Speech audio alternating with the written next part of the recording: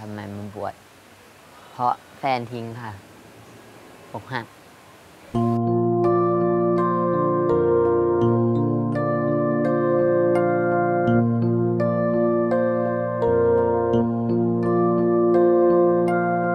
ก็ตามหาเขาทั้งวันทั้งคืนไม่ได้นอนประมาณ 5 วัน ตอนแรกก็กะว่าจะ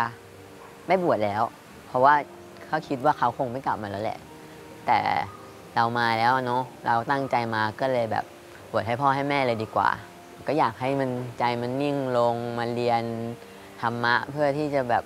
เผื่อจะคิดได้ว่าเอาจุดเนี้ยออกไปยังไงอะไรอย่างเงี้ย